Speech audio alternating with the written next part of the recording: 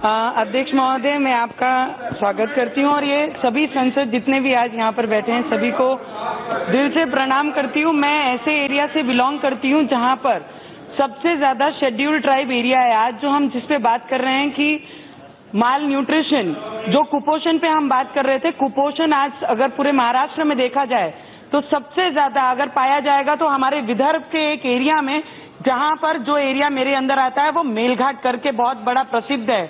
आज वहाँ पर देखें तो वहाँ पर सूखा है। वहाँ पर पीने को पानी नहीं है। पिछले तीन महीनों से लोगों को 10 किलोमीटर चल के जाना पड़ता है। एक हंडा भर के पानी लाना पड़ता है। ना वहाँ पर न्यूट्रिशन दिया जाता है, ना वहाँ पर हॉस्पिटल है जहाँ पर लोगों के इलाज हो सके, जो हम बोलते हैं कि कुपोषण मुक्त भारत करेंगे।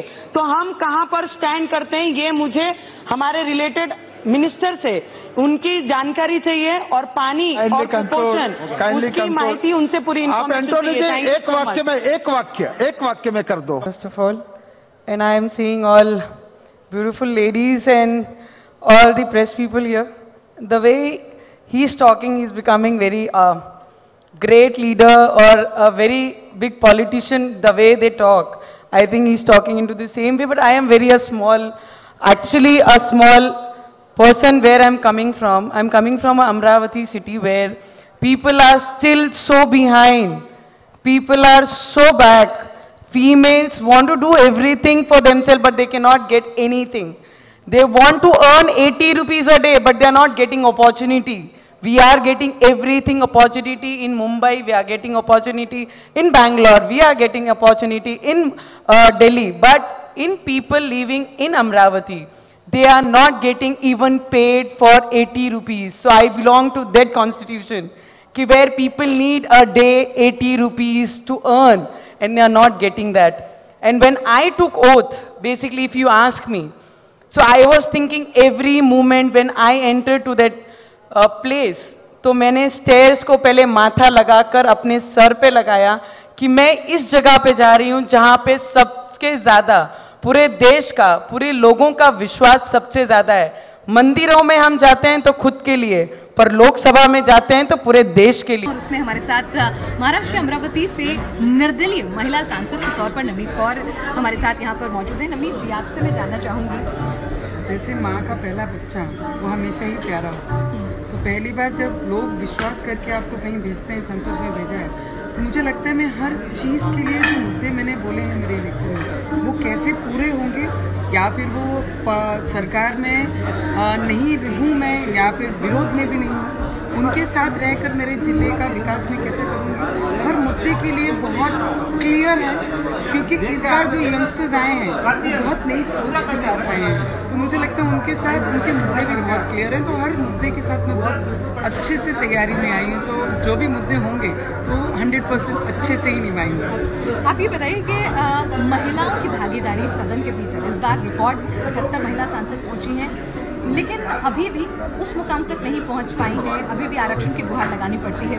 तो महिलाओं के लिए राजनीति की राह कितनी मुश्किल है? आ, बहुत ज़्यादा मुश्किल है। एक तो अगर नॉन बैकग्राउंड पॉलिटिकल बैकग्राउंड से आते हैं तो यहाँ तक पहुँचना भी पचास साल हो जाता है। मुझे लगता है तो रिजर्वेशन रहा तो नई फीमेल्स को अपॉर्चुनिटी मिलेगी।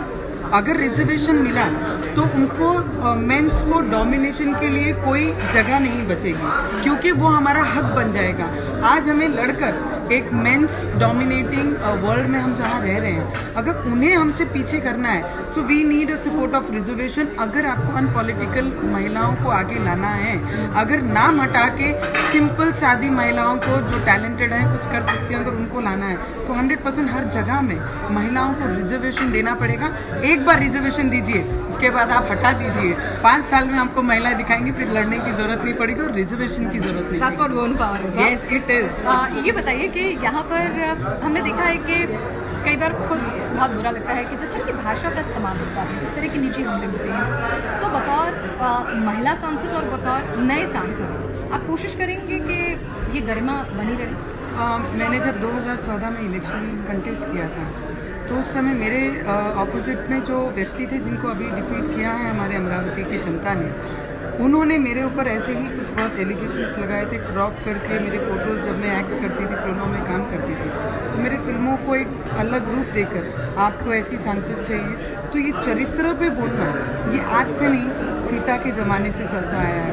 पर हर वुमेन सभी वुमेन को ये फाइट करके, वो जो लाइन हमारी ज़िंदगी में मारी गई है, कि हमने अगर इनके चरित्र पे बोला तो शायद ये फीमेल वहाँ पे स्टॉप कर जाएगी। वो लाइन हमें क्रॉस करनी है, और जिनने क्रॉस कर गए शायद वो ज़िंदगी में बहुत कुछ बन जाएँगे। तो आई थिंक मैंने वो फाइट किया। आँसू ज़रूर आए रोई हूँ बहुत बार, पर अपने आप को घर में बाँध के नहीं रखा। उस उस व्यक्ति से और उस समाज से जो महिलाओं को डोमिनेट करते हैं उससे लड़के आज शायद मैं संसद बन गई हूँ। तो आई थिंक भगवान है, कहीं ना कहीं है। तो महिलाओं के अंदर जो ताकत है, शायद वो सिर्फ़ लाने की ज़रूरत है। आज महिला वोटर्स क्यों बढ़ी हैं? बिकॉज़ वो खुद इंडिपेंडेंट हुई हैं। आज जब इंडिपेंडेंट हुई हैं तो वो अपने विचार से आगे जाकर वोट हुई आज मैं जिस क्षेत्र से आई हूँ, मैं बीजेपी शिवसेना शिवसेना के विरोध में इंडिपेंडेंटली खड़ी होके आई हूँ। तो वहाँ पर अगर आपने मेरी वोटिंग ऑफ़ देखी तो मुझे लगता है सबसे ज़्यादा मेजोरिटी फीमेल्स ने वोट किया है। अगर वो बीजेपी के कार्यकर्ता हैं, पर उन्होंने नवनीत राणा को उनकी वाइफ ने वोट किया है। अगर वो शिवसेना के कार्यकर्ता हैं, पर फीमेल को और माँ को पूछा तो बोले, नहीं, हम नवनीत राणा को वोट करेंगे। एज ए फीमेल जो नौ साल से काम कर रही है तो मुझे लगता है हर महिलाओं ने अपनी सोच दूसरी महिला तक पहुंचानी बहुत ज़रूरी है। अपना विचार, अपनी टैलेंट अपनी सोच व्यू रखेंगे। तो महिला एक ऐसी है।